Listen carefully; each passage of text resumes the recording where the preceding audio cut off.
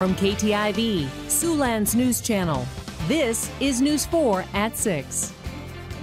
Good evening, everyone, and thanks for joining us tonight. Iowa's State Auditor Rob Sand was in Sioux City today with a point to make. Partisanship is having an impact on the audits that he performs, and that could impact your tax dollars. Sand is Iowa's only Democrat elected to statewide office. He told members of the local Rotary Club a new law was passed by the Republican led Iowa House and Senate. KTIV's Matt Hoffman reports.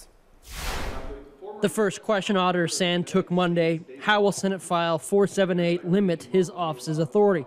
He says the bill, which awaits the governor's signature, would limit the types of documents the auditor's office could access. I think that I'm not sure that the people who are advocating this bill have really thought through it because if they deny us access to records, we have a legal and an ethical obligation to disclose that, and then everyone is going to be left wondering what it is that they're hiding.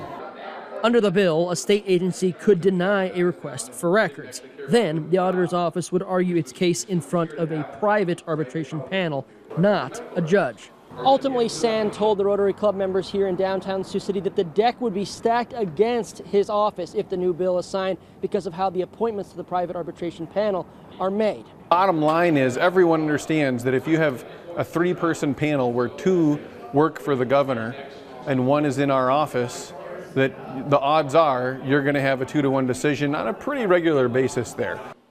One Rotarian asked if Senate File 478 was passed because Sand is a Democrat. Sand answered yes, but added he's concerned the restriction on the auditor's office would also apply to a Republican office holder. In Sioux City, Matt Hoffman, KTIV News 4. Republican State Senator Mike Bousselot, a sponsor of the bill, previously told the Iowa Capital Dispatch the General Assembly has to be the watchdog of the state auditor's office. He said the Assembly must ensure the auditor's office keeps Iowans' private information confidential. The 80s return